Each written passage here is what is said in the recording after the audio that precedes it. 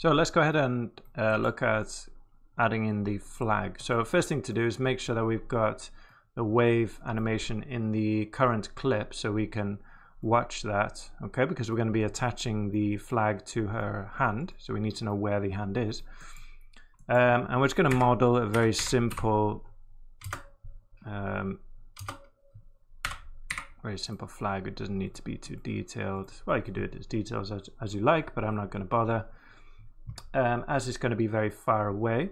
So uh, we need, let's go ahead and just build this up very quickly. Uh, we need end caps in Y is fine. Let's, the radius, yeah, we need it much smaller, but we need it much taller. Okay, so we're going to make a pole. This will be the pole, obviously. Let's give it some more rows. 12 columns is fine. And then I'm going to make a, a grid. I'm going to use a grid as the actual fabric. Uh, is, oh, sorry, the XY plane. Put the template on the pole so I can see what I'm doing. And the size, let's do, let's do it quite big. I'm going to do two two flags, a big one and a smaller one, just some variety. One for the woman and one for the man. Okay, and I'm going to line this up, so bring it over 10, but then a little bit more, just so it's not intersecting like that. And bring it up. Okay, that looks fine. It's blue on this side because the uh, because the normals are flipped. Doesn't really matter, but uh, you can, if it does bother you, you can reverse it. Okay, just to show you that. Um, well, so this is, we're going to be simulating this part, obviously. So we need more subdivision there. So just use remesh. Whoop, not attribute map remesh. It's a good idea to always do this before uh, using vellum. Okay, uh, we don't need too much subdivision, but this this is fine. This is uh, you know more than enough uh, for our purposes. Let's give them two separate groups so we can differentiate between them later on. This is the pole, and this is the flag itself. Great, okay, so let's take a look at the vellum configure cloth. Ah, they should be reversed. So this, this course is more, is a, a crowds course, so we're not gonna go into too much detail with the vellum parts, okay? But that'll be good enough for our purposes. So that'll set up uh, all of our constraints between the uh, points. And then, well, this is not going to be collision geometry, but it's going to be used as um, something to attach to. Will be collision geometry later on. So we got our cloth set up. So now we need to build constraints between the cloth and the pole. So we drop a vellum attached to geometry. There. Connect that up. So you can see by default it's connecting, I think, every single point to this pole. Um, we don't need that. In fact, we don't want that, so we'll give it a weird behavior. So we turn the max distance on, and then just point one should be fine. There you can see, you know, by raising this, you get more points. Okay, but we don't need so many. Just one is fine. Um, what I'm going to do is put the rest length to zero and that way you know this should snap onto the pole or if not you know help it stay as close as possible uh, we can quickly test this. So let's drop a vellum solver. Connect that up. By the way if you notice there the way I because these have got three inputs and outputs if you hold it on top of, or well, just a, below the node, you can see it connects up all three inputs for you automatically. If not, you can do shift, click, hold shift, click, click, click, and then drop it on one and it will connect them all for you. So let's just take a quick look at that just to make sure it's working. Okay, that's fine. You can see it's holding on. Great. Uh, delete the solver. We don't want the solver. Just to make sure it's working. So uh, we need the constraints and the geometry in one thing to, and then we're going to connect it into a layer here. Okay, so to bring them together, we need a vellum pack. And this just has two inputs because we don't need, we're not going to pack in the uh, collision geometry as well. Okay, so that's going to pack them together and then we drop a null. Call this out. Um, yeah, we're going to do two separate flags, so I'll call this one flag. Move that over.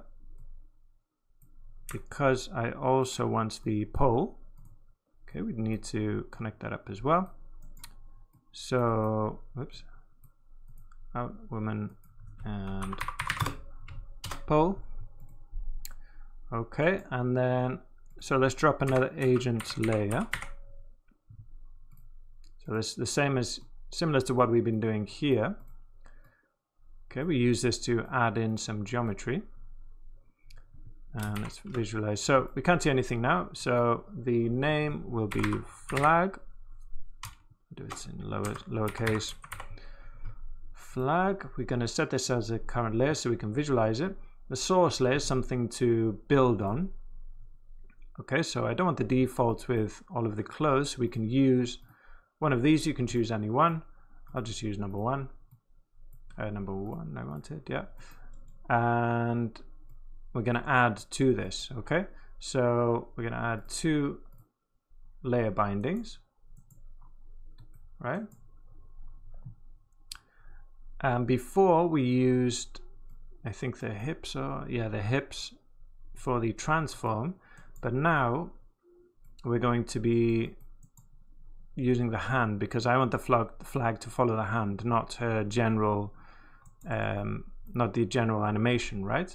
So we come here grab left hand. You can see it's adding this collision geometry, right? It's got this collision geometry by default for for um, uh, ragdolls, but you know we're not doing that yet. And the shape, so we're not going to be using the shape from within the FBX. Obviously, we're going to be joining in this geometry. So we're going to add shape and then it asks for the sub path. So we'll drop in the flag. Okay, we still don't see it because we need a name. Let's call it flag. And we see the flag. And we'll do the same here. So add shape. Sub path will be the pole and the shape name will be pole and I think yeah if we turn off keep position when attaching well at the moment that won't affect it because we need to actually put it in place. But if you watch you can see it's following along her animation. And by the way don't worry about the clip properties okay? It doesn't matter that this is branching off beforehand. You know that uh, it won't affect that okay so th this is just to tell the flag where does it sit in relation to the hand, right?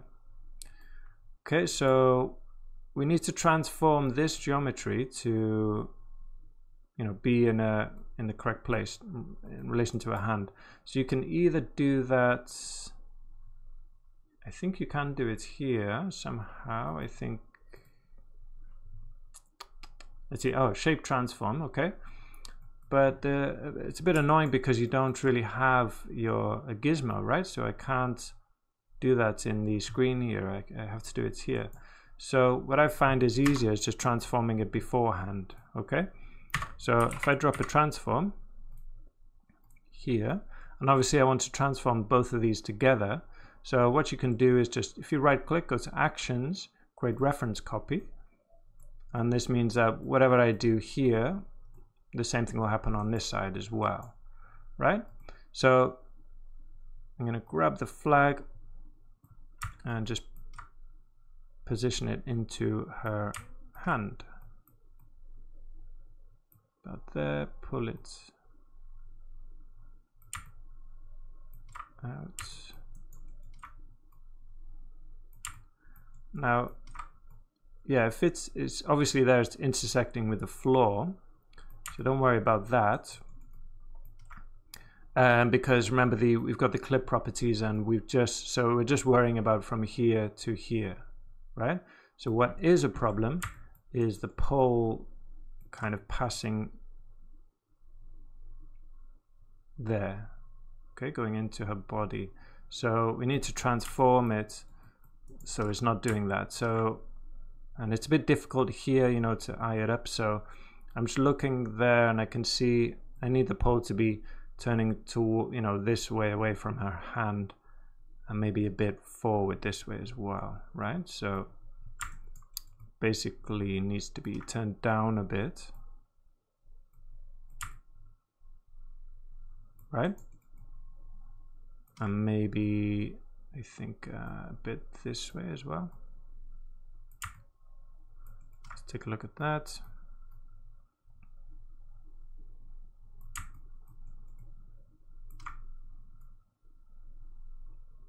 Getting closer. Still, yeah, I think quite a bit more down. Like that. Can be a bit fiddly, this. Getting it to work correctly, but, you know. It is what it is.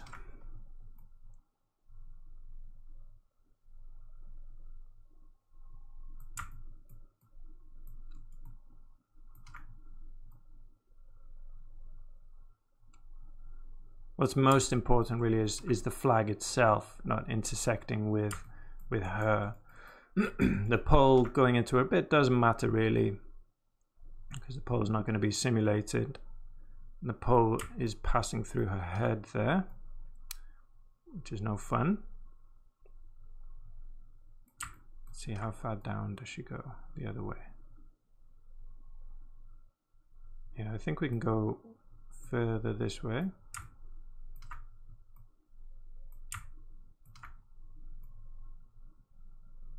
That's better. Great, okay, so I think that's okay now. So remember, yeah, it's passing through her there, but that's not part of our actual animation. Great. So that's all ready to go for her, I think. Um, no, I'll leave that on. Great, okay, and then next video we'll do the same, but for the man.